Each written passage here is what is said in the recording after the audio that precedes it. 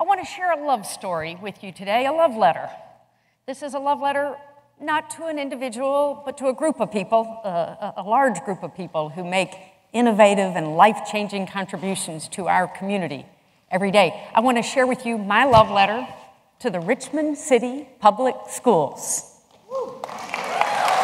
Now, I'm Secretary of Education for all of Virginia. That's 100 plus local school divisions, 23 community colleges, 16 public universities, various and sundry museums and other institutions. So it's a little risky to favor one of my responsibilities over another. But I, I think we're all allowed a first love, and, and I hope you'll forgive a little partiality for me on that, on that account. My love affair with Richmond Public Schools began when I was a 12 year old. My dad, Linwood Holton, was elected governor of Virginia in 1970. And in his inaugural address, he called for an end to racial segregation in Virginia. Now, that was not an entirely popular position at the time for a Southern governor to be taking. It was only seven years prior that Governor George Wallace had issued his infamous call from the steps of the University of Alabama. And yet, my dad had the opportunity early in his term to put his words into action when the courts ordered crosstown busing to integrate our Richmond City schools.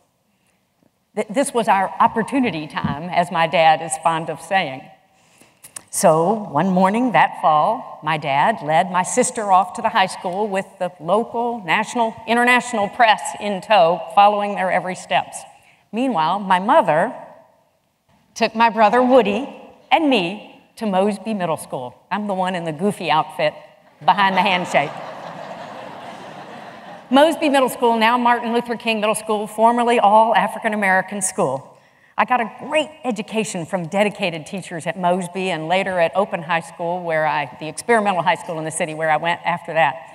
And I also learned a lot from my classmates as we created our new community together. You know, we did all the normal things that teenagers do. We studied, we cheered teams. We, we had drama on stage and off.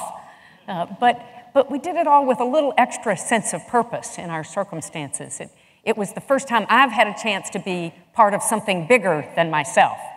And, and it made its mark on me. Ever since, I've been a passionate advocate of public education and of the Richmond Public Schools in particular. My own children, all three of my own children, graduated from the Richmond City Schools. The uh, oldest, uh, you, will forgive a little bit of a mother's, uh, mother's pride in bragging. The oldest is an officer in the Marine Corps. The younger two are passionate artists, nurturing dreams absolutely born and bred here in the Richmond City Schools' phenomenal music and arts programs. Now I have the opportunity, often as the Secretary of Education, to visit uh, schools really all across the Commonwealth. I uh, uh, snuck recently, just last week, I snuck into a classroom quietly in the back. Sometimes I go with a, a, noisy entourage, but this time quietly snuck into the back of a classroom of Thomas Jefferson High School, right here in the city of Richmond. This is who I was visiting. I hope you can see them. Over here on your left, Mr. Stevens. He's the master teacher, the math teacher, an experienced guy, the head of the robotics team at TJ. The bearded guy on the other side, Mr. Fox, He's the math teacher in training. The young man in the middle is uh, Ruben, a senior, a high school senior, a member of the robotics team, and the robot is Fluffy. they told me that the girls on the robotics team named the robot. I was pleased to know there are enough girls to get naming rights. I, I spoke with one of those girls shortly after this picture was taken. She uh, she, she's a first generation. She'll be the first generation in her family to go to college next year when she'll enter one of our great engineering programs at one of our public universities here in Virginia. She tried to explain to me the project she was working on for her international baccalaureate program there at TJ. It involved geometry and analyzing beauty and a very fancy program. She, she showed me pictures of her classmates with geometric figures overlaying their faces. I didn't get any of it. Uh, but I wasn't, I wasn't at TJ to visit the International Baccalaureate students or the robotics team. I, I, I was there to watch Mr. Fox and to learn more about the program that brought him there, the Richmond Teacher Residency Program. Now, this is a VCU program. It works to recruit top college graduates from all across America to immerse them in an urban education environment, to have them work with master teachers for a year long residency. At the end of that year, they get their master's in education and then they enter upon teaching right here in Richmond for at least three years and hopefully a lifetime. Now, this is an innovative program based on a national model, and the research shows that it increases the retention rates of both the veteran teacher and the novice. Now, that day, I had an opportunity to watch Mr. Fox teaching his, uh, not, not the International Baccalaureate students, but the standard Algebra 2 class at TJ. He, uh, he was ready for these kids when they came in the door. He had a fast paced series of activities that kept them going for a solid hour working on various math problems, various algebra problems, he, he had those kids energized. He had them, uh, uh, uh, well, the class was noisy with activity, but focused.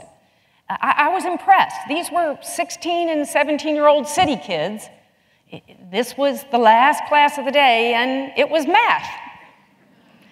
But they were matching his enthusiasm. Now, now that's, that's uncommon. After the class, I had an opportunity to watch Mr. Stevens and Mr. Fox do their daily debrief, which they do as part of the program every day. Mr. Stevens had kept track of which students had spoken out, who had raised their hands and who had not, who was checking their cell phone, and what Mr. Fox was doing about all of that, how he was reacting to them. They backed and forth about that. One student had slept through most of the class, and they talked about the sleeper how Mr. Fox had been working with his dad to address some issues, and maybe it was time to call dad back again later this week. They talked about Mr. Fox's coursework and how it related to what was going on in the classroom and how Mr. Fox could improve. And then they were kind enough to answer my questions for a few minutes. Most importantly, I said, You guys are math whizzes. You realize you could double your salaries and cut your stress in half in the private sector. Why are you here? Well, Mr. Stevens jumped in first. He said, Some of us are foolish. but then he confessed he really loves teaching. He loves motivating his students and working with those who are motivated to help them go to new heights. He also said, I live in this city. I'm, I'm invested in these kids. They're going to be part of my lives, part of my community, either way. And I have a personal stake in their success. Mr. Fox Mr. Fox was on his way to corporate America with an applied math degree a couple of years ago when his mother passed away. Now, she had been a student in the Richmond Public Schools some years ago, and, and she had struggled. He felt a calling, and now he's a math teacher in training. Now, these teachers don't have an easy job. I, I, I could tell just in my hour of observation that those, those algebra students, even though energized, some of them were really struggling with the material. Almost all of the students we saw come from families of poverty, many of them from the kinds of entrenched intergenerational poverty that is one of the biggest obstacles to academic success. 74% of the kids in our Richmond City schools are eligible for free or reduced lunch, almost twice the statewide average. The buildings in our urban schools aren't always glamorous. None of our teachers are paid anywhere near their worth, what they're worth. All of them have to put up with excessive testing pressures. Do I have any teachers in the room? The, uh, it, it, there are challenges abound, and yet they're there. Why are they there? They're there because these students need them. These are the students they've come to know and love. These are the students for whom education is the ticket out of poverty the ticket to successful adult lives. These teacher, teachers know, as I do from the research, what we all know instinctively that outside of home and family, the quality of the teacher is the number one factor in all students' success. And so that's why I'm all in for Mr. Stevens and Mr. Fox and their students and their colleagues across the city who are lighting the imagination exciting young minds in kids every single day, and in truth be told, their colleagues all across the Commonwealth and all across the nation who are doing the same work where needed with students all over. These, these teachers and their students and our public education system, going all the way back to Thomas Jefferson's day, these, our public education system deserves every bit of my love and support. Now, I haven't come far in life, really, since picture taken of me at Mosby in 1970. In fact, I haven't gone more than two miles. Literally, my first job out of law school was working for the judge who issued that busing order back in 1970, and his courthouse was just a few minutes away from Mosby. My law practice, my courthouse, where I was a juvenile court judge in the city and worked with some of these same families,